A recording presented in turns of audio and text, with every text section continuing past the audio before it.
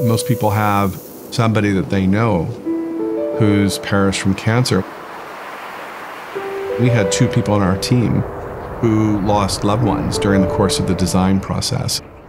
There was a lot of empathy and awareness of what the whole project was about. They were part of something bigger than just themselves to create an architecture that would support caring long into the future. The Hamdan bin Rashid Cancer Hospital in Dubai is a project where we were literally able to integrate all of the things that we do really well and coordinate it in support of the client's vision, which was to really transform cancer care in the region.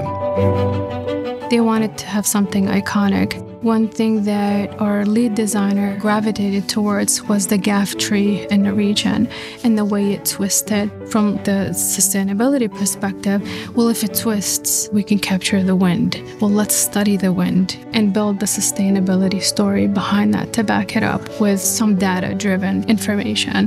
The temperature extremes are quite severe and trying to create positive healthcare outcomes that both have internal and external environments is extremely challenging.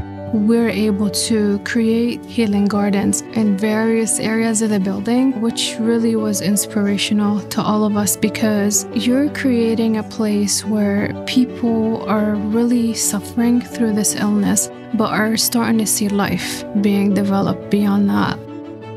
Our primary platforms for delivering collaborative work in BIM is Revit. We leverage quite heavily ACC Cloud, and we leveraged Forma specifically because of its cloud collaboration capabilities.